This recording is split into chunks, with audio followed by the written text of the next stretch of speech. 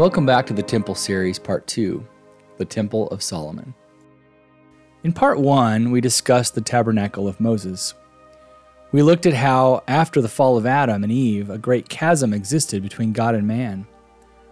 This great distance was caused because mankind chose to follow their own way instead of being obedient to their God. Because of God's nature of justice and mercy, Adam and Eve were thrown out of the Garden of Eden and could no longer be in his presence. It was his justice that forced them to be apart because of sin, and it was his mercy that protected them from being in his presence. Had they remained in the garden, they would have been destroyed by his holiness because they were now unclean. God moved them away from him and placed cherubim to protect the entrance of the garden. We also discussed in part 1 how in the time of Moses, God invited Israel up on the mountain, and they refused. They chose rather to have Moses act as a mediator between them and God. God met them where they were spiritually, and then gave them the Mosaic Law. It was a law of rituals and ordinances, all of which pointed to this Messiah that would come to pay the price for their sins. So we see that the Holy One of Israel, the great I Am, was God, who would come one day to pay the price for our sins by giving his life freely for us on the cross. God spoke with Moses and Israel and taught them that disobedience has consequences. He taught them that sanctification is necessary and that in order to come back into the garden, into that beautiful paradise with God, a price would one day have to be paid. God appointed Moses and Aaron to perform these rituals so that Israel would learn about him and prepare for him. Unfortunately, Moses struggled with Israel as they wandered in the desert. At each turn, they were disobedient, ungrateful, selfish, and idolatrous. God showed Moses the kingdom of heaven when he was on the mountain, and then instructed him to build the tabernacle. The tabernacle was a place full of imagery that would point them back to God, that would remind them of the Garden of Eden, and that would remind them of the need to be sanctified in order to enter that garden and live in God's presence. The ritual sacrifices, the showbread, the brazen laver of water, the high priest, the Holy of Holies, and the spotless lamb were all symbols of Jesus. God was trying to get Israel to see who their God was and that he wanted to enter into a loving covenant relationship with them. 2 Nephi 8 says, Behold, my soul delighteth in proving unto my people the truth of the coming of Christ. For for this end hath the law of Moses been given, and all things which have been given of God from the beginning of the world unto man are the typifying of him. Unfortunately, Israel's heart was not soft nor did it soften after the Lord gave them all the miracles and ordinances and rituals and law. They didn't see the symbolism and the lessons that the Lord was trying to teach them through the law. And so they wandered in the desert for 40 years, constantly disobeying God's commands. Each time they broke his law, he added new laws. Over the course of 40 years, the simple Ten Commandments grew to 613 laws that they must live by or suffer the consequences. Their society became one focused on rituals, ordinance, and justice.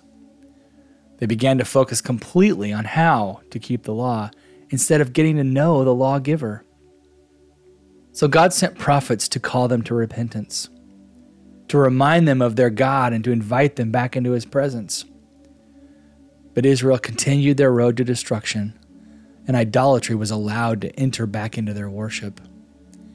They jockeyed for position to gain power over their enemies and each other like a herd of sheep with no shepherd. They tried to emulate the other religions and cultures around them by changing the ordinances and demanding that God allow them to have a kingdom. God didn't want Israel to have kings. God's intent was to set up the kingdom of God on earth. He wanted to fill the earth with His presence not just dwell within their tiny tabernacle. He had given them a government ruled by judges and law, but it wasn't enough. And so God allowed them to have kings, but gave them a warning about their disobedience and what would happen to that kingdom if they strayed from his law. The first king was Saul. And at first things were going well, but then because of disobedience, Saul lost his position, and it was given not to his son, Jonathan, but to the youngest son of a family of poor shepherds. God was trying to show Israel that his kingdom was one of love and humility, not prestige and honor of men. He was trying to show them that he values humility and sacrifice, not wealth and power. But Israel would not listen. So in 1003 BC, David became the king of Israel at the age of 30 years old. Despite Israel's disobedience, God blessed David and the kingdom. David was a man after God's own heart and had a genuine desire to know him and to please him. And they began to prosper greatly. David conquered many of Israel's enemies and captured Jerusalem. Jerusalem was the ancient land of their forefathers where Abraham had made his covenant with God on Mount Moriah. How fitting it was to make this same land the capital of their great nation. David established Jerusalem as his capital, and now they were back on the land of their inheritance. The tabernacle of Moses was in Gibeon at that time. In 999 BC, or thereabouts, David separated the Ark of the Covenant from the original tabernacle that was in Gibeon and brought it up to Jerusalem and placed it within the, a new tabernacle that he built. It was on this journey that the famous events of Uzzah being killed for reaching up to steady the ark as it wobbled on a wooden cart they had made to transport it took place. God had commanded that they use the poles and that it was to be carried exclusively by the Levites. Once again, God was demonstrating that disobedience leads to death. The original tabernacle of Moses remained in Gibeon while the ark was now in its new uh, tabernacle of David in the city of David. Once the ark was in the new tabernacle that David built, David burnt offerings before God to worship him. All of Israel were allowed to worship, and the ark was no longer hidden within the limits of the Holy of Holies in the temple. Men, women, the disabled, everyone could worship there. This tabernacle was symbolic of the tabernacle of Jesus, who would die for all people, and the only requirement was a repentant heart and a desire to be one with him. Because of great success and prosperity in a short time, David decided that he wanted to give God a better place to live than the tabernacle that he had made. He was sitting in his palace of cedar and gold and lamenting that God was living in a tent while he was in a palace. 2 Samuel 7 says, And it came to pass, when the king sat in his house, and the Lord had given him rest round about from all his enemies, that the king said unto Nathan the prophet, See now, I dwell in a house of cedar, but the ark of God dwelleth within curtains. And Nathan said to the king, Go and do all that do all that is in thine heart, for the Lord is with thee. So this is Nathan, the prophet of God, telling him, Go ahead and build a house. If that's in your heart to serve the Lord, then go ahead and do it. But then look what happened in verse 4. And it came to pass that night that the word of the Lord came unto Nathan, saying, Go and tell my servant David, Thus saith the Lord, Or shalt thou build me an house for me to dwell in? Whereas I have not dwelt in any house since the time I brought up the children of Israel out of Egypt, even to this day, but have walked in a tent and in a tabernacle. David asked the prophet Nathan to go to God and petition that he be allowed to build a temple for him. Nathan was told in a dream that at no time had God asked to live in anything but a tent. David was told that God would plant his people and allow a temple to be built, but that David's descendant would build his house. David was obedient to God's command and did not build the temple, but began gathering supplies and making plans for the temple that his son would build. He admonished his son Solomon to finish what he had started once he had once he became king. There's a strong type and shadow in these verses in 2 Samuel. God told David that his descendant would build the temple and his kingdom would last forever. Jesus was a direct descendant of King David, and he was the everlasting temple on earth whose kingdom would never fail. So time passed, and David died. Solomon became the king and immediately began the construction of the temple that his father had prepared. He modeled it after the shape of the tabernacle of Moses, which was still in Gibeon, except everything was built to a much grander scale. The only artifact used from the original tabernacle of Moses was the ark itself. Everything else was remade. All of the original artifacts from the time of Moses were stored in special areas around the exterior for the preservation of relics. Solomon also put new items within the temple that were not in the tabernacle of Moses.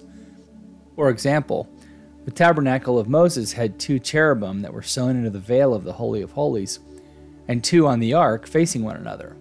These two sets of cherubim remained as in the tabernacle. But then he also built two statues of cherubim placed on each side of the ark. These statues were massive. They were 15 feet tall by 15 feet wide. They would, uh, they would not have even fit in the original Holy of Holies in the tabernacle. Solomon also created a massive altar for the burning of sacrifices. The portable altar of Moses was 8 feet by 8 feet, Solomon built the permanent altar 30 feet by 30 feet. Pretty much everything in the temple was scaled up, at least by double, and maybe and more than that in some cases. The construction process of the Temple of Solomon took seven years, and a volunteer workforce of over 30,000 Israelite workers and 150,000 Canaanite workers. They also employed Phoenician artisans and uh, craftsmen from Tyre. The estimated cost of building Solomon's temple today, because of all the gold and, the, and all the fine materials and all the labor, is around $6 billion. Solomon also wanted a holy place to be silent while they worked, and so he didn't want a lot of construction noise going on, and so he had all work done off site, and the materials were brought on after the stones had been cut and, and everything was ready to put together. That way, it minimized the noise and the dust and the commotion on this holy site. Also, if something didn't fit, they would have to take it off site to fix it and then bring it back on to assemble. So, once they were finished with the construction, the Ark of the Covenant was moved into position by the priests. God's power, that was the last step, and God's power then filled the temple and all of Israel saw the fire come down from heaven, just like the fire that came down and rested on the tabernacle of Moses. Second Chronicles 7 tells us, verse 1 Now when Solomon had made an end of praying, the fire came down from heaven and consumed the burnt offering and the sacrifices, and the glory of the Lord filled the house. And the priests could not enter into the house of the Lord, because the glory of the Lord had filled the Lord's house. And when all the children of Israel saw how the fire came down and the glory of the Lord upon the house, they bowed themselves with their faces to the ground upon the pavement and worshipped, and praised the Lord, saying, For he is good, for his mercy endureth forever. The Lord blessed Israel because of his great love for them, and the sacrifices they had made to create a holy place for him to commune with them. Solomon then praised the Lord as well before the congregation, and for eight days the people worshipped and sung praises to God. Once they had finished the dedication ceremony, Solomon sent everyone home, and the Lord appeared to Solomon in the temple to warn him that he and Israel must be holy in order for God to bless the nation. Unfortunately, years later, Solomon ended up living in idolatry and polygamy. After Solomon's idolatry and disobedience, the Lord kept his promises and withdrew his blessings upon Israel. Israel was divided into two kingdoms, Judah and Israel, immediately following the death of Solomon. Subsequent kings also struggled to be faithful to God, and Israel suffered a period of idolatry, death, and captivity. The Temple of Solomon was destroyed by Babylon, as prophesied by Lehi in 587 BC. The Lord's blessings had been removed because Israel's heart was set on riches and the respect of men. The Ark of the Covenant disappeared during this time, and all subsequent temples did not have the Ark of the Covenant in their Holy of Holies. In part three, we're going to discuss other temples that were built before Christ came and the prophecies of the new covenant with Israel. We will find out what happens when you build a temple for yourself and leave God out of the process.